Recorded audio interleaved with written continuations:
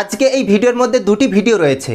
মুসলিমদেরকে বদনাম করার জন্য, মুসলিমদেরকে শেষ করে দেওয়ার জন্য উঠে পড়ে লেগেছে বিজেপি আরএসএস নামক কিছু হিন্দুত্ববাদী। আজকের এই ভিডিওটি খুবই গুরুত্বপূর্ণ। সকলকে অনুরোধ করে বলছি, অবশ্যই ভিডিওটি শেষ পর্যন্ত দেখবেন। যেদিকেই যা কিছুই হোক না কেন সব কিছুই যেন মুসলিমদেরই দোষ হয়। পৃথিবীতে এক শ্রেণির মানুষ আছে, বিশেষ করে ভারতের মধ্যে এক শ্রেণির এমন মানুষ আছে, যারা মুসলিমদের নাম না করলে, মুসলিমদের বদনাম না করলে তারা চলতে পারে না, তারা খেতে পারে না, তারা উঠতে বসতে পারে না। এই মুসলিমদেরকে ধ্বংস করে দেওয়ার জন্য, এই মুসলিমদেরকে শেষ করে দেওয়ার জন্য কিছু হিন্দুত্ববাদী উঠে পড়ে লেগেছে।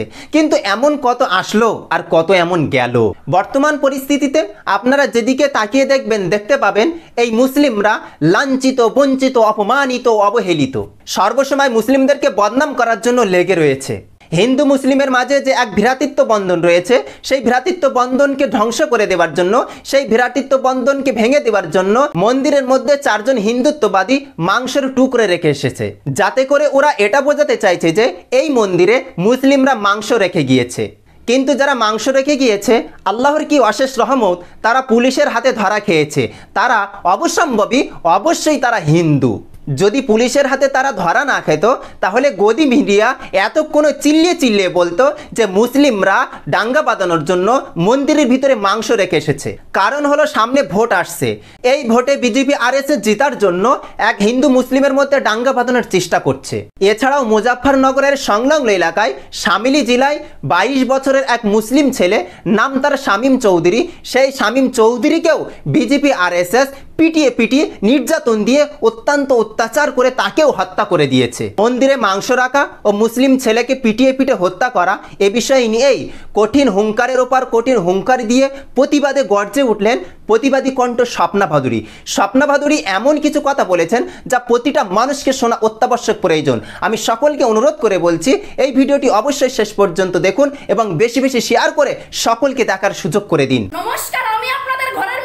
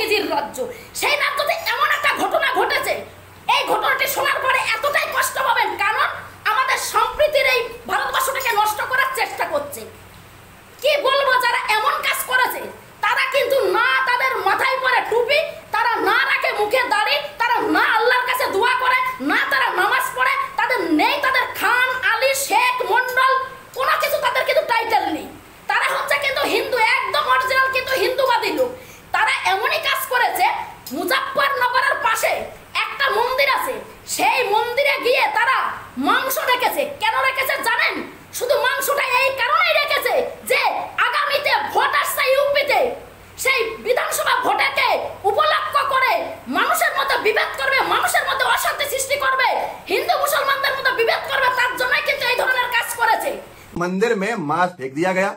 और वो मंदिर का मांस जो है, किस्मत की बात ये थी कि वो लोग पकड़े गए जिन्होंने मांस फेंका था। उनके नाम सुनेंगे तो आपको हैरानी होगी। और थूतू होती है ऐसी हरकतों है भारतीय जनता पार्टी की विचारधारा के लोगों पर रिपब्लिक भारत ने ही छापा है। उत्तर प्रदेश बुढ़ाना के मंदिर में कथित तौर पर फेंका गया मांस का टुकड़ा। एक ही परिवार के चार लोग गिरफ़्तार।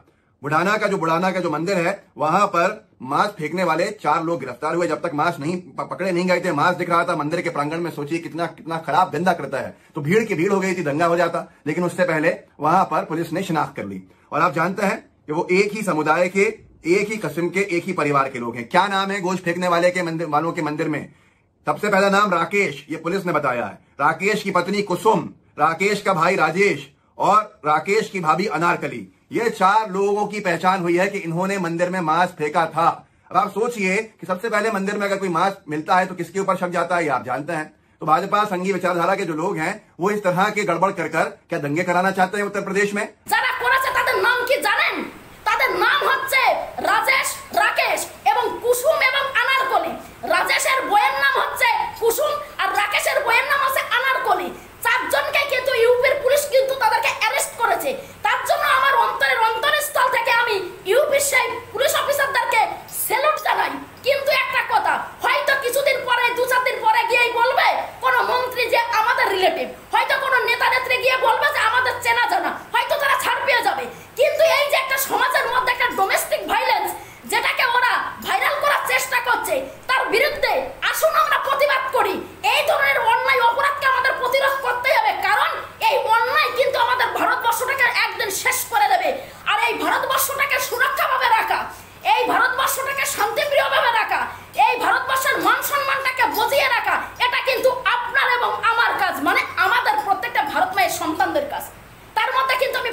সম্প্রদায়ময় সন্তানদের কথা বলেছি।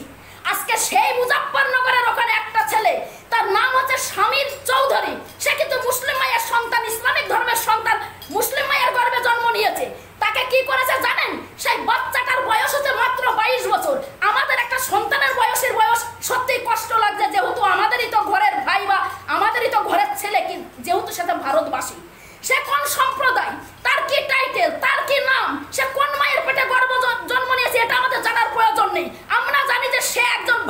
ভারতবাসী সে একজন ভারত সন্তান। তাকে পিটিয়ে পিটিয়ে এই যে আর এস এস হিন্দুবাদীরা তাকে এমনভাবে পিটিয়ে পিটিয়ে হত্যা করেছে, দেখলে পরে অবাক হয়ে যাবেন। অতিরিক্ত কষ্ট তাকে কিন্তু প্রাণ তাকে দিতে হয়েছে।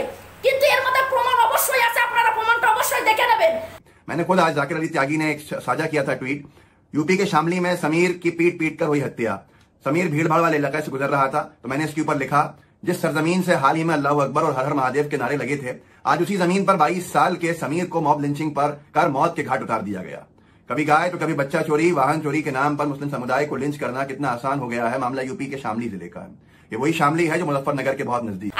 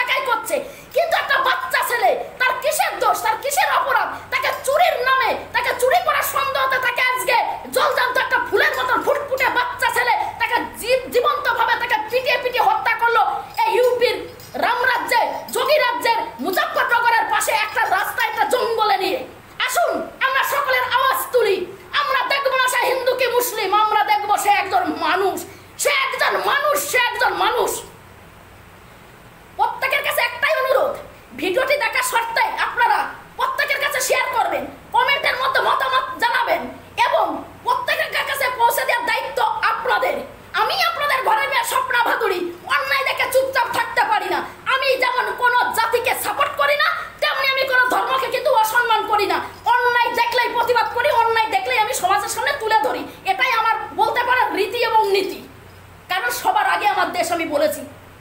জয় হিন্দ, বন্দে মাতারম, জয় সোনার বাংলা, প্রত্যেকের পরিবারকে নিয়ে খুশিতে দিন কাটান, ভালো থাকুন, সুস্থ থাকুন, এটাই ঈশ্বরের কাছে, আল্লাহর কাছে, ভারত মায়ের কাছে প্রার্থনা করি। নমস্কার। প্রিয় বন্ধু মহাদয়, এই ভিডিওটি আপনারা দেখলেন, শুনলেন এবং বুঝলেন। আপনি আপনার মূল্যবান মতামত কমেন্ট করে জানিয়ে যাবেন। আর হ্যাঁ এই ভিডিওটি বেশি বেশি শেয়ার করে সকলকে দেখার সুযোগ করে দিন। আপনি যদি এই চ্যানেলে নতুন হয়ে থাকেন, তাহলে পিছিয়ে পড়া মুসলিম সমাজকে নিয়ে ইসলামিক খবর এবং প্রতিবাদী ভিডিও দেখতে আমাদের এই চ্যানেলটি সাবস্ক্রাইব করে পাশে থাকবেন।